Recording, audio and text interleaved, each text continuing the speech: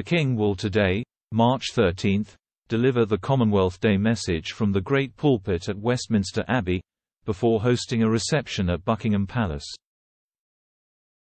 For the occasion, Sophie looked elegant in a cream coat dress with brown buttons. The coat dress looked as if it was a separate jacket and skirt as the bodice featured large pockets. It also had a wide collar and a button just below the collar and on the sleeve cuffs. The skirt was long and slightly pleated, reaching Sophie's shins. She combined this with a pair of matching nude heels.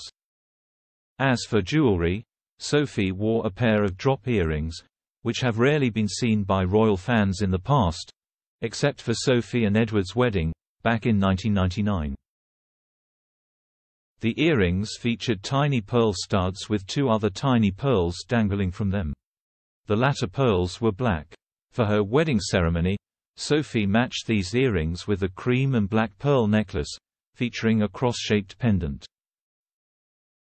Sophie completed her look with a pair of shiny, nude heels, which seemed to be the ones she wore for her first appearance as Duchess of Edinburgh last week.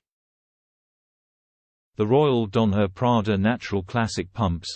These are a pair of shoes the Duchess has worn on many occasions in the past.